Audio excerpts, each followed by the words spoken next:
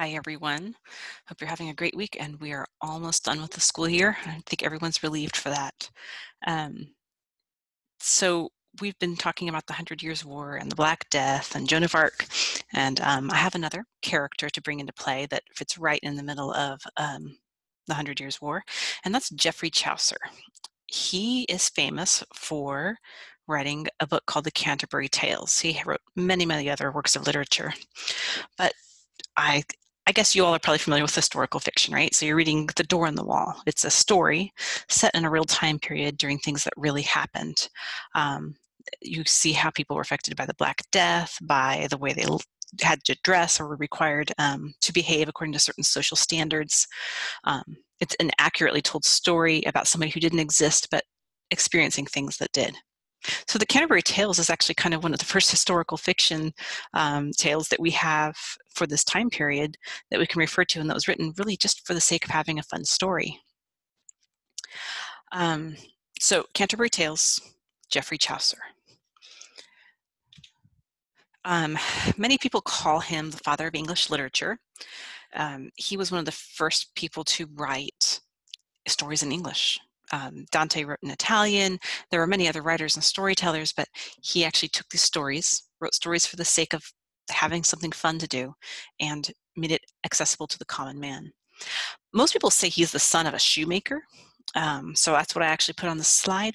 But um, most it appears that he was actually probably the son his, his father was a winemaker he was a vintner and his mother was a wealthy heiress. So he grew up middle to upper class which was kind of um, it was a very small group of people at this point in time because if you remember uh, according to the feudal system hierarchy there wasn't really a middle class or an upper class. You were either titled and noble or you were a shopkeeper or a peasant. So he was kind of a member of this unusual elite well off group of people that knew how to work and use their hands, um, plant grapes and make wine, and but they also had access to education.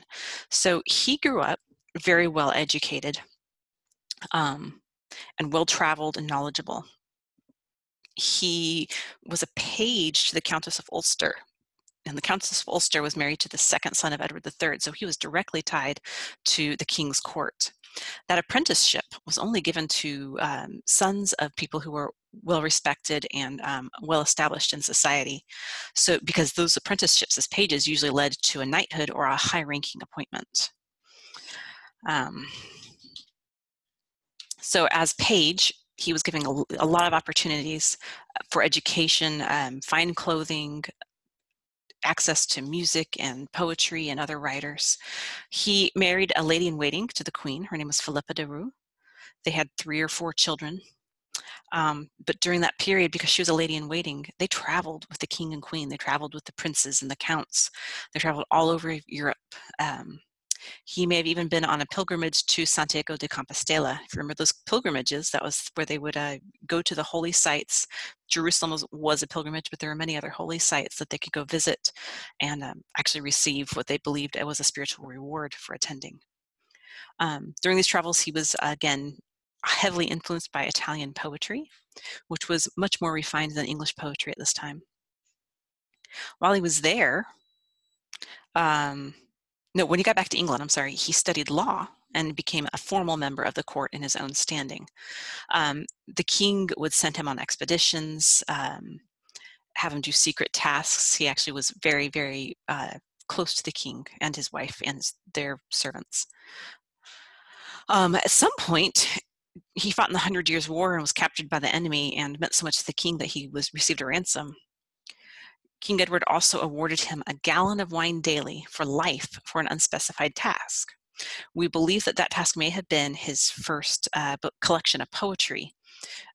That day that that gallon of wine was awarded was a special day, uh, St. George's Day. It was reserved for literary and poetry recognition. So at some point early on, he was writing and um, giving it to the king and sharing it with people and already receiving recognition for it informally, not really noticed he had many job descriptions. He, because of his rank and his education, he served the king in a lot of different ways. So Geoffrey Chaucer would have been a customs controller, means he controlled taxes and the way things came in. A justice of the peace, remember he had a law degree. He was a member of parliament, a diplomat to France and Italy, and remember we're in the middle of the Hundred Years' War. He served, uh, d- uh, delivered secret dispatches for other knights and lords serving the king. Um, and we believe that during these travels, he would get inspiration for his stories in the Canterbury Tales. He supervised construction of Westminster Palace and the Tower of London. Those are two major um, architectural achievements of the time. He was a, after he got injured at some point, he was actually mugged and got hurt. He had to retire from those active jobs and was given the job of deputy forester, which basically meant he could go live in a really nice house in one of the, some of the king's forest land and um, watch over it with a pension. He died of unknown causes around 1400. So he was born in the 1340s and died in around 1400. So he's probably less than 60 years old. And he was the first writer to be buried in the Poets' Corner of Westminster Abbey. Let's talk about that for just a minute. Or you guys can pause this at any time to go back and take your notes. So Westminster Abbey is kind of one of the major church homes of the Church of England. Um, it's just spectacular and has amazing stained glass and uh, Gothic architecture. I mean, we've talked about that before. So here's Westminster Abbey, and inside Westminster Abbey is what we call the Poets' Corner. Many famous poets are buried here, but Chaucer was the first after he was buried. Um, other famous poets that have that who's are entombed there are uh, Robert Browning, Alfred Tennyson, Charles Dickens is even buried there, and George Frideric Handel, Rudyard Kipling here with the Jungle Book. And then um, after they kind of filled up the tomb area, they started putting up memorial plaques for people. I mean, there's countless memorials in this section of the Westminster Abbey, but C.S. Lewis and Jane Austen have memorial plaques there. I thought that was kind of interesting. Uh, you see Keats and Shelley uh, memorials up on this wall here. Just all, all those all those names that you know, they at least have a memorial or or their bodies are actually entombed here. So Chaucer was number one, and you can see him back over here in the corner. Let's talk about his story for a minute. Um, here's a famous quote Although Chaucer's invented personages, the people in his stories, are now 600 years old, they are flesh and blood today.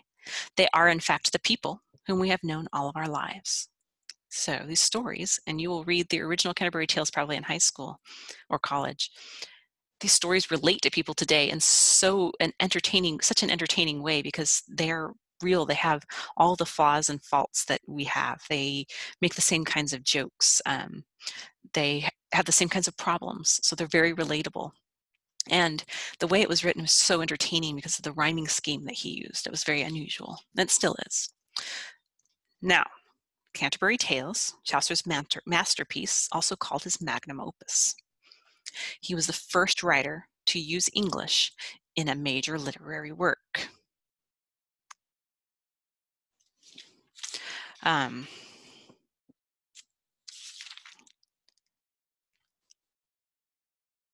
so he's remembered as the father of the English language because he blended the Saxon words, French words, and Latin words, and words that he just made up.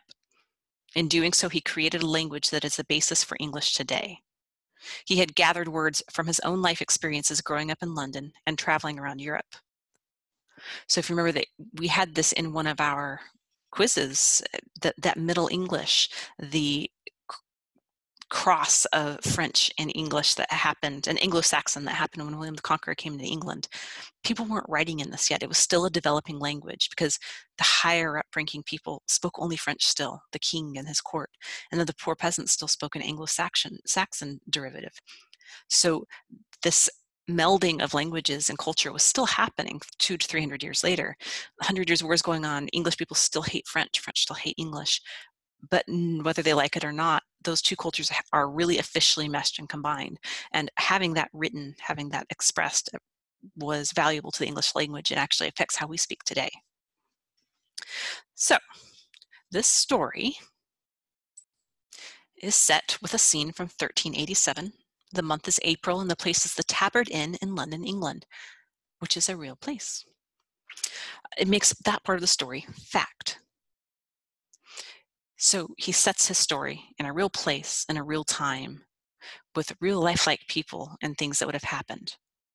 It's a cross section of medieval society in his story.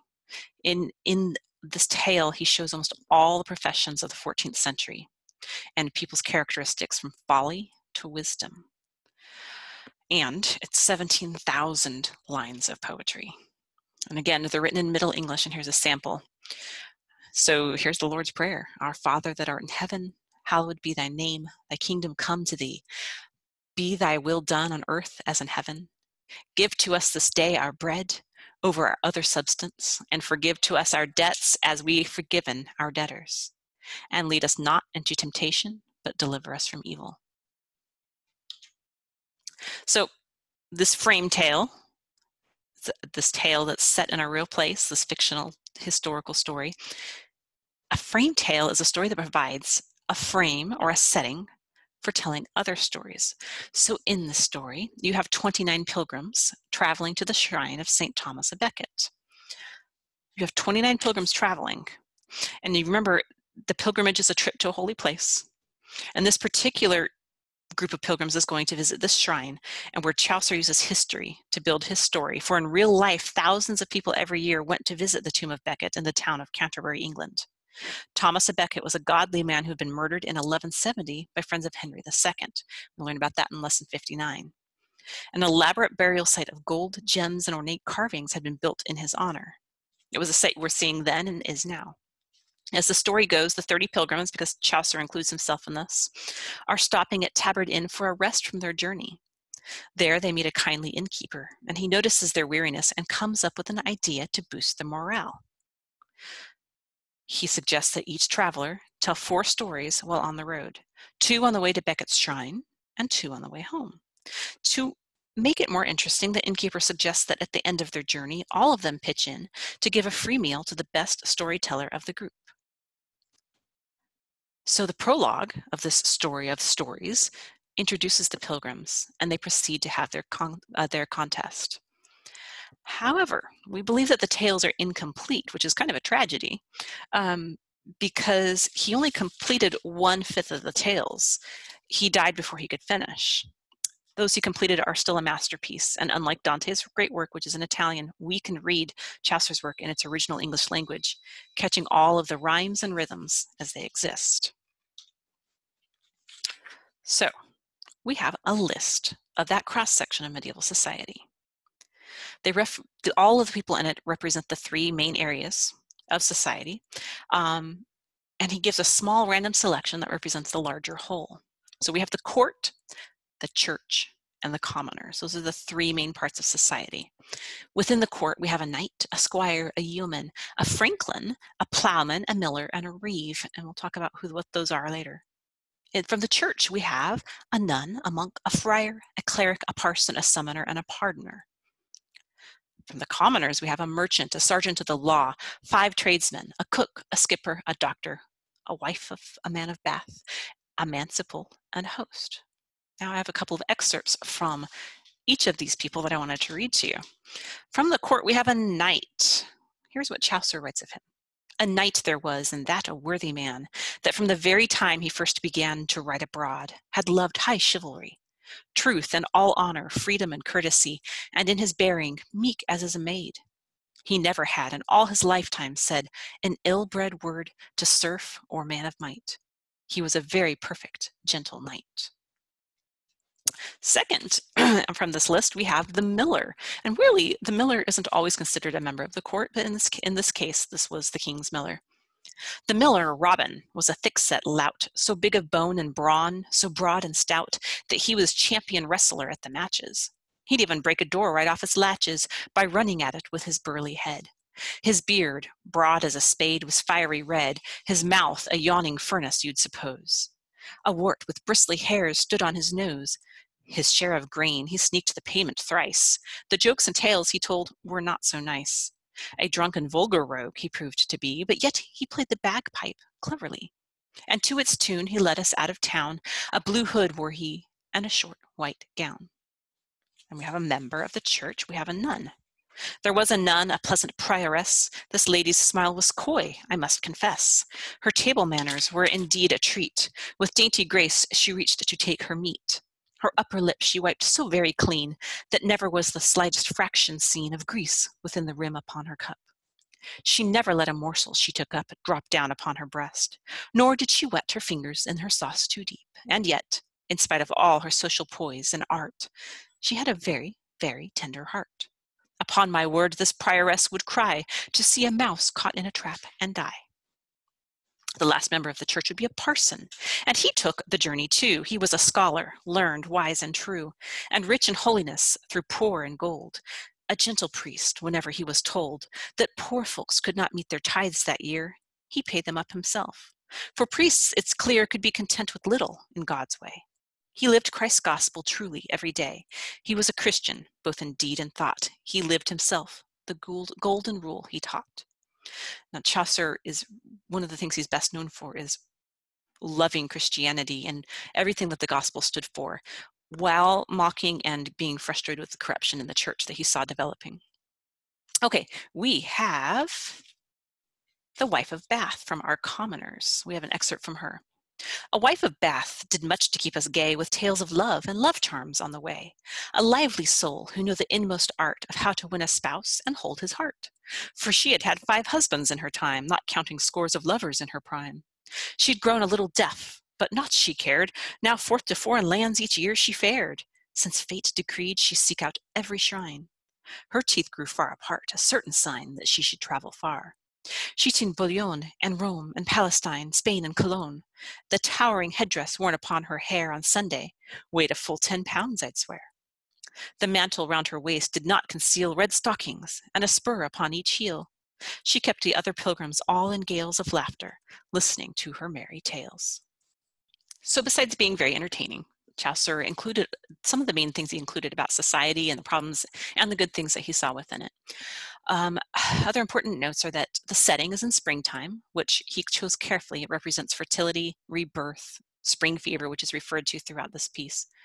The themes are cor- the corruption of the church. And remember, he still respected Christianity. He was a Christian. Um, he writes throughout ent- this entire work about how important it is to, to follow Christ's example. But the church was a major issue to him. It had too much power. There was no separation between church and state. Um, and he really saw that corruption as a problem and that it was building. He also wrote about the complexity of human nature. So the two themes are the corruption of church and the complexity of human nature. Very few characters are all good or all bad, since we all have our virtues and our flaws. He included irony. Often the characters typically valued by society are the most despicable, while the poor and lowly are the more noble. And tied into the irony is humor. The descriptions bickering between characters and the irony in the tales are meant to be funny. So here are some medieval occupations explained, and I believe you have these in your notes. So take a moment, I'm not going to read these out loud, but take a moment to um, pause this and write those out so that you can remember what those characters are. And here you have a few more descriptions. The summoner that was underneath that church section is someone who brings accused criminals before the church's court. Um, if you notice, the church has the court that is judging the criminals. Um, in our day, we have bounty hunters, we have uh, detectives, people who will go find the accused criminals and bring them to court, but it's not run by the church. Um, this is where he saw the church having too much power. Uh, the nun or the monk, they are known for devoting their lives to work, obviously, charity and prayer. They take vows of poverty, silence, and chastity, which we've talked about these. Often, becoming a monk was an option for second sons of nobility who could not inherit the family fortune. Um, you'll notice that even just in the section of poetry that I read to you, it mentions a lot of physical characteristics.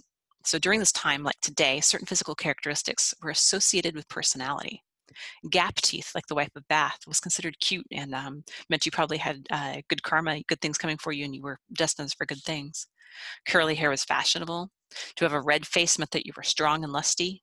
Red hair could mean that you were sneaky like a fox. A lot of people with red hair would be called the fox as like a, a, tagged on name. Um, having a wide forehead was beautiful. Long hair in a man was considered weak and undesirable, and a beardless man was also considered weak and immature. And if you had sores or pimples, um, it would suggest that you had disease, so that was really, really looked down upon. All right, so Geoffrey Chaucer, mid 40s, 1340s, died 1400.